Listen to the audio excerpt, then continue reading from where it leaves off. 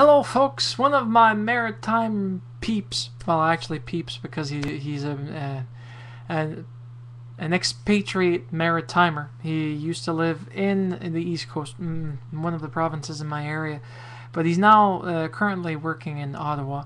As many maritimers have to move out of the, their own provinces sometimes to find jobs that suit their needs or their wants. He's there, or is it she? Hmm. They never identified their sex, so I apologize. Er, The name of the person is Gnomen Candle. That's G N O M E N Candle, one word. And uh, here's the artist, Sherry Lee. Now, Sherry Lee is from the prairies. As to which prairie province she's in, I haven't investigated it. So, Sherry, I do apologize for this. If you'd like to give me a comment back so can actually get that corrected, I'll be happy to correct it. But she's from the prairies.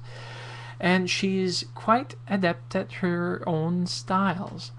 She plays, uh, she describes herself as indie rock. I tend to describe it more like folk rock, uh, possibly slightly with uh, bluegrass slash country ish twang into it. Um, it's actually quite fun to listen to, and her voice carries the tunes remarkably very well. It's all music that's composed by her and her trio, uh, the Wisor Trio and uh, it's composed of Danny Cole, uh, Daelan Woods, Tom Murray. Uh, actually, I think of Alberta and Edmonton. There we go. So I've just found the missing links. They're in Edmonton, folks. That's where they are in the prairies.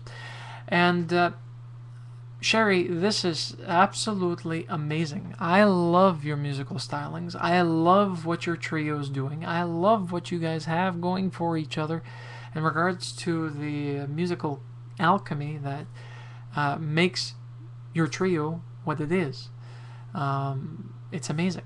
It's uh, tangible. It's heartfelt. It's um, sweet and sour at the same time in regards to how it makes the heart feel. Because we've got that melancholy feel where the music brings us aloft, but we still feel weighed down by certain elements, like any song with emotional import have.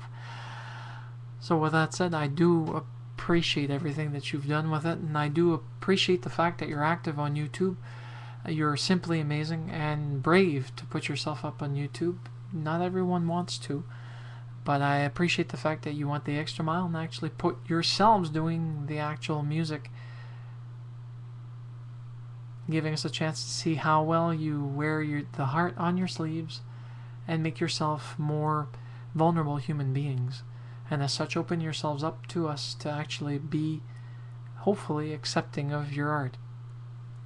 I know I am. And with that said, I think you guys deserve this, and especially you, Sherry. Here's your image of the Scottish Smurf Awards for being an awesome trio, an awesome singer songwriter, and music all around players, singers, and everything that music means to me and to many other people too. I think we're uh, we're all privileged to be capable of seeing you on YouTube, and one of these days we'll get even the better privilege of getting to see you when you come by my province and my city, Moncton, New Brunswick. Have a nice one.